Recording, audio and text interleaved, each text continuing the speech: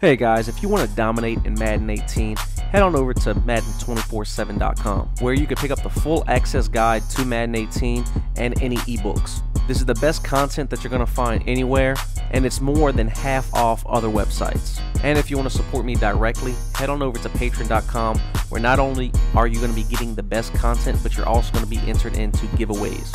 So if you're interested, head on over to the links in the description below. What's up guys, in this video we're going to go over how to fix the baseline press issue to where they do not misalign and there's two different ways we can do this.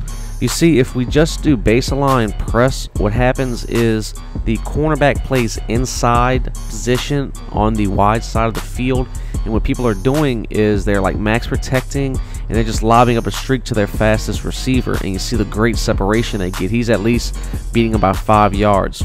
So the way we fix this is we could either base baseline and press twice and what that's going to do is get the cornerback over the receiver. So you see if we base baseline once, press base baseline twice, and then see how he moves over the receiver.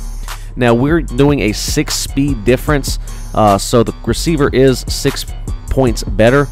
But you see if we had a cornerback that is closer uh, in ratings with speed, especially if you do coaching adjustments and set your best cornerback on your best uh, uh, receiver speed wise. They will, if you have a 95 speed corner and they have a 96 uh, speed receiver, is going to be evenly matched, and you can click on and swat the ball. But here, there's a big difference. Um, the cornerback has 90 speed and the receiver has 96. So this is not recommended if you have slower corners, but this does fix the baseline press issue uh, of misaligning. The other way to do it is to baseline, then man align, and then press. Uh, that is another way to do it.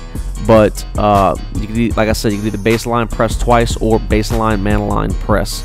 So hope y'all enjoyed this video on how to fix an issue in the game. I thought it was going to be fixed uh, with the new patch, but it was not. So this is the way to uh, fix it yourself in game, uh, not have to worry about giving up a one-play touchdown.